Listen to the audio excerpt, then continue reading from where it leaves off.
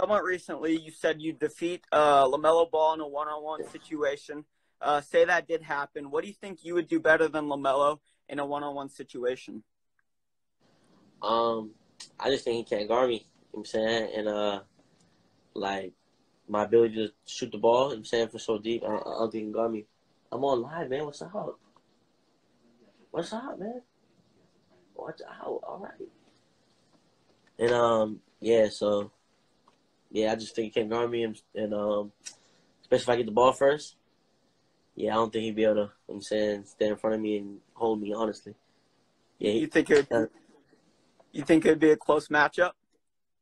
Yeah, no, I think because he's definitely tough. I'm saying he's number one pick.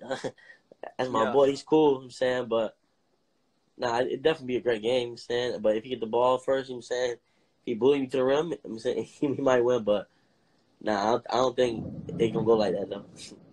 Who would you say the toughest? What's good, Charlie's King Tise? Welcome back to Throughout the Association, and Julian Newman is back with the foolishness. As you guys just saw in the interview with Lambo Media, and shout out to him, Julian Newman just told us he believes he can beat LaMelo Ball one on one because he feel like LaMelo can't guard him.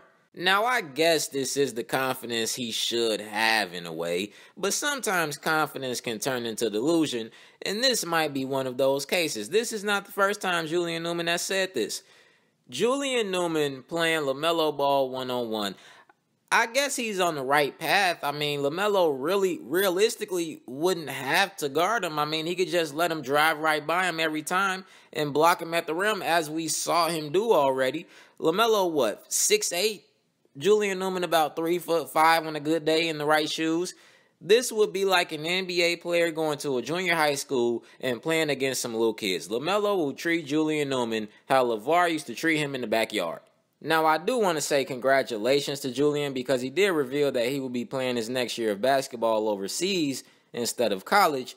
I guess whenever he's allowed to do so, because as you guys know, the world isn't really functioning as we're accustomed to right now. But I do wish him the best in that. But as far as playing LaMelo one on one, stop.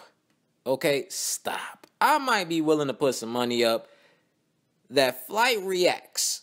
Yes, Flight Reacts. If you don't know who that is, go watch a video of Flight Reacts playing basketball. I might be willing to put some money up that Flight Reacts. He might be able to beat Julian Newman in a one on one. He just might be able to. I don't know. What you guys think about this? And definitely subscribe.